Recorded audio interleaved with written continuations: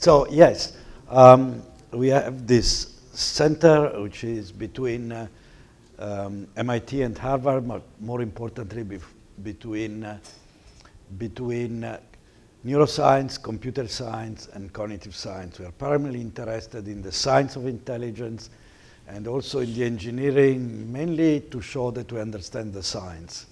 Um, and we would like to do research, um, kind of basic research required to develop systems then that can pass a kind of Turing test for vision, such as answering an open-ended set of questions that people can ask about images or videos. Questions that are easier, like what is there or who is there, face recognition, and more difficult ones, like questions about uh, um, feelings and social interactions, and uh, up to questions like, uh, um, tell me a story about this image, and uh, after that, you know, tell me why you told me this particular story, and so on.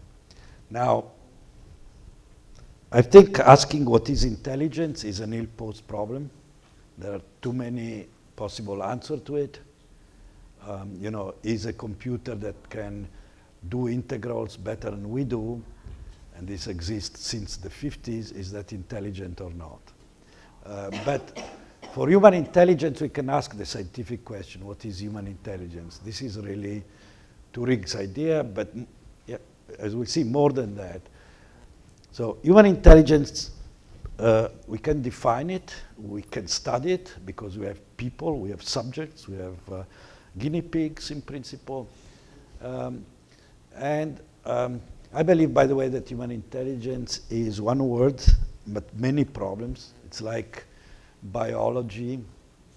Biology, you know, in the 1920s, people spoke about uh, the secret of life, as if one could one discovery, solve the problem of life. It is like today saying biology is one problem.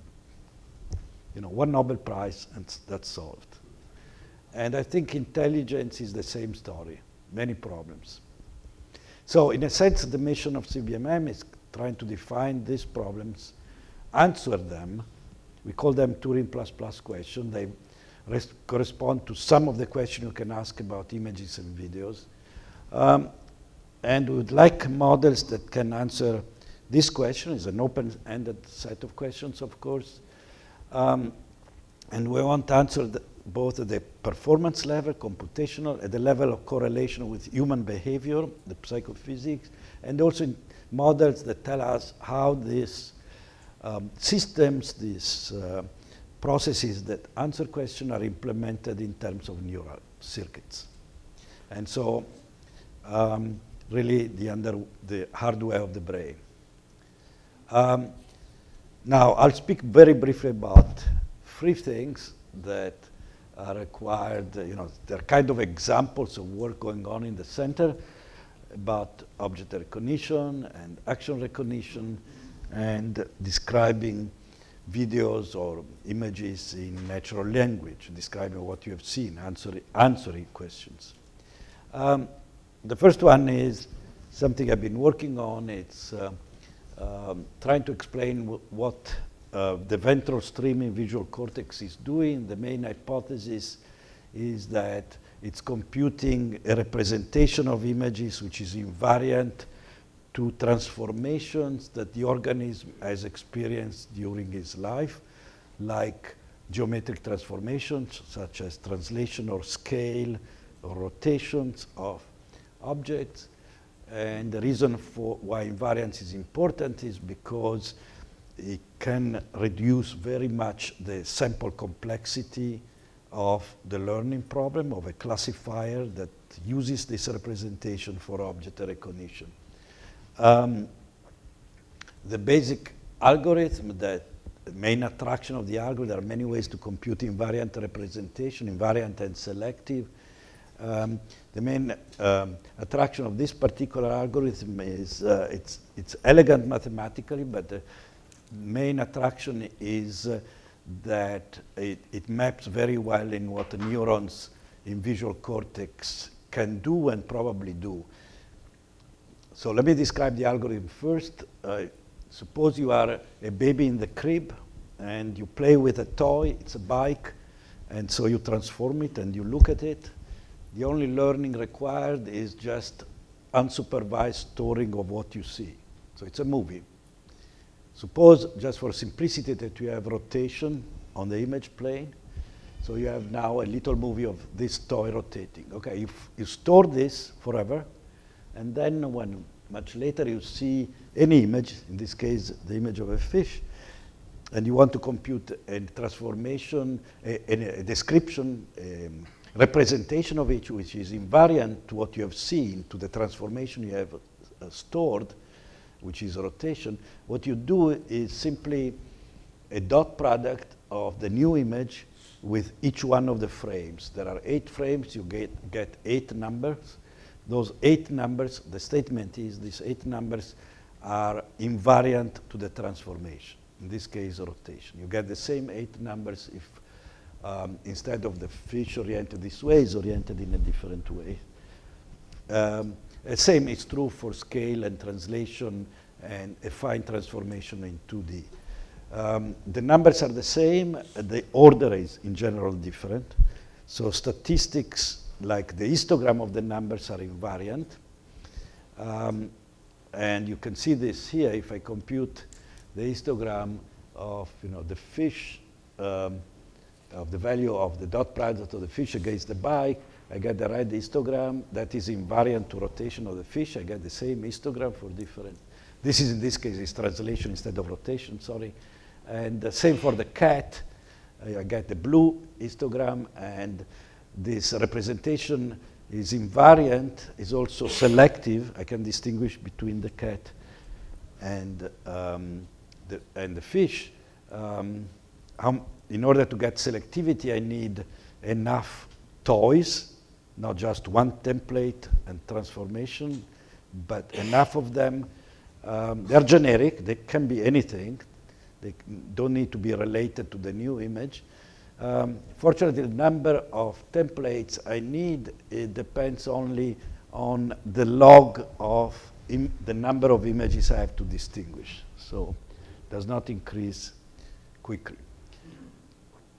Okay, this, this by the way, is one of the approaches, this one of uh, uh, invariant representation that could um, help in, uh, you know, this challenge that machine learning has of going beyond big data, but having algorithms that learn more like children do from not too many supervised labeled examples. Okay, uh, and by the way, as a parenthesis, I think we, we extended this uh, I theory to deal with the basic elements in deep learning networks, which are basically there are two basic nonlinear operations in most of these recent um, deep learning convolutional networks. One is the rectifier or sigmoid, and the other one is the um, convolutional and max out step. And um, so we can prove that um, both, both uh, layers, both the convolutional or the, the um, the rectifiers one are can be, can be are equivalent to kernels. Um, let's see.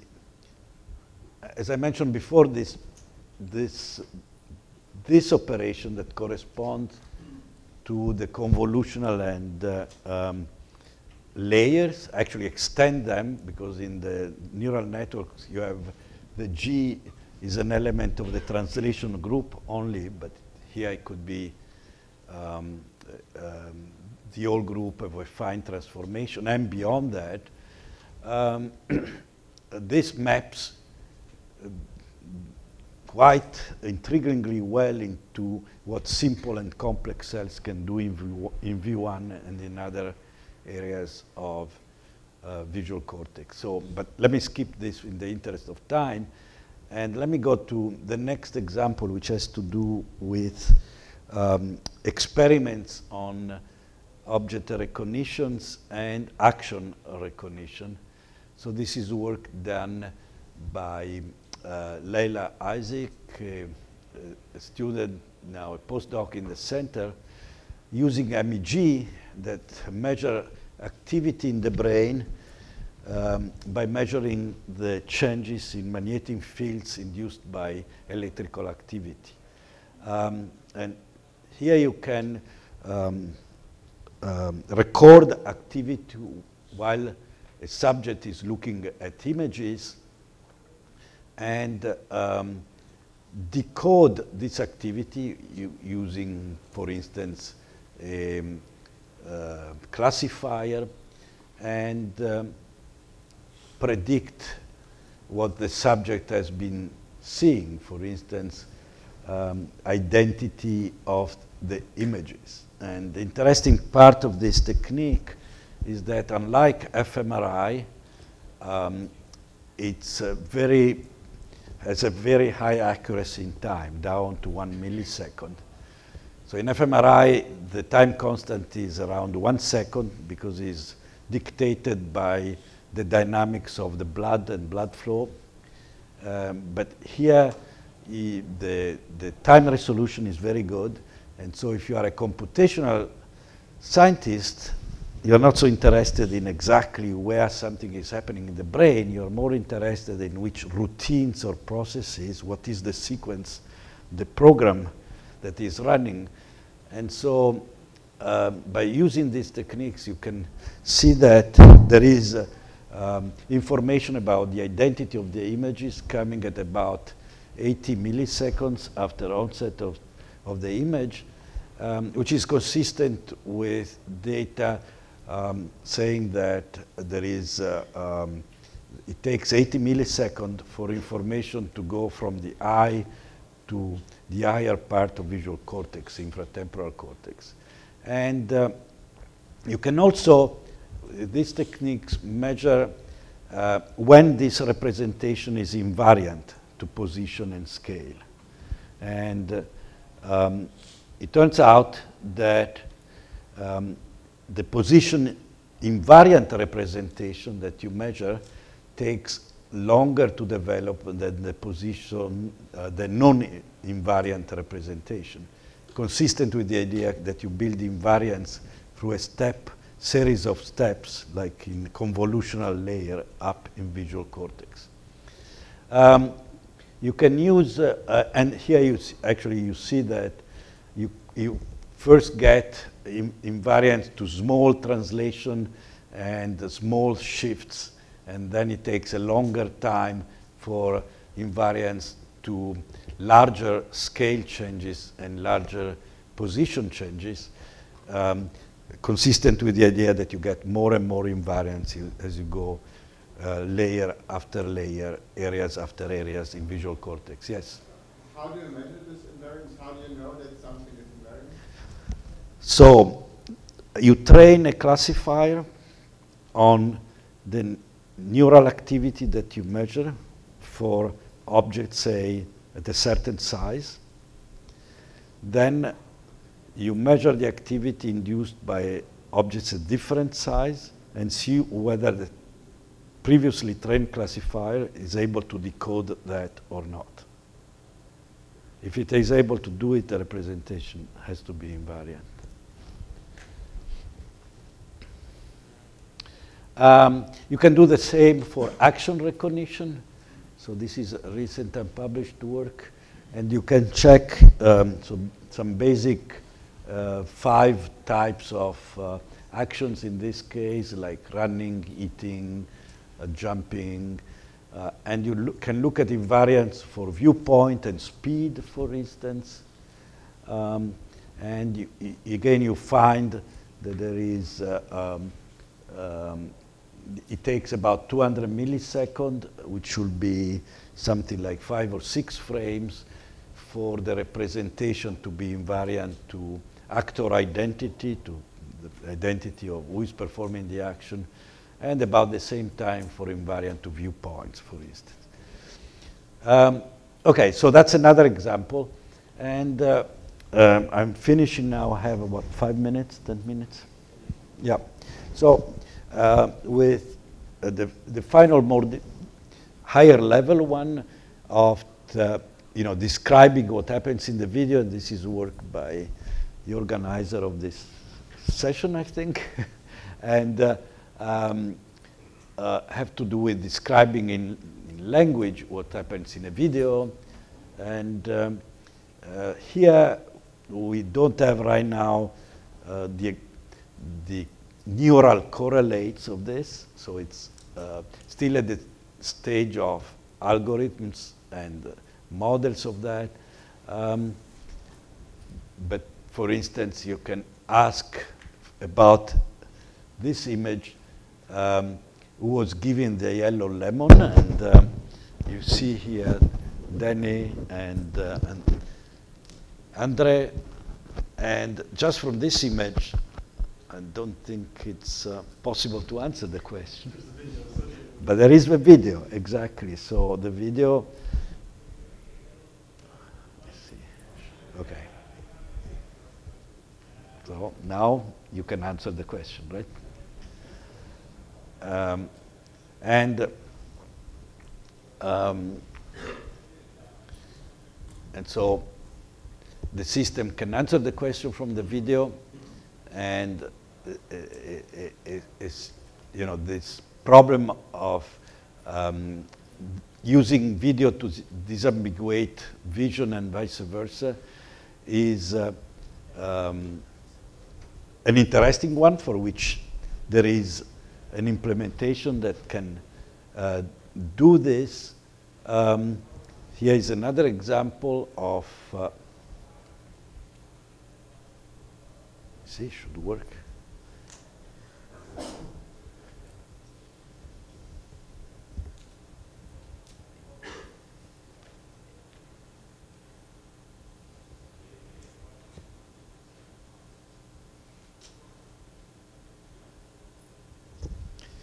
So um, um, he, here again, uh, you can combine vision and language to make sense of what's going on. You can say exactly what, what happens. There are two different interpretations for that sentence. So two short videos. Right. So the task that we're looking at is, can you figure out which interpretation corresponds to the particular video, and can you still learn the meanings of the words if your corpus is labeled with ambiguous sentences? Right.